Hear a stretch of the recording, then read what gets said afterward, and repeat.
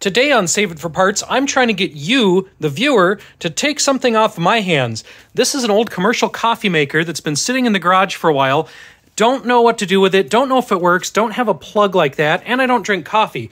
So if anyone out there in the Twin Cities wants this, I've had people ask about it, but they're in like Kalamazoo or someplace. This is probably not shippable. It's so big and heavy. Uh, this is a one of those and comes with a bunch of spare parts.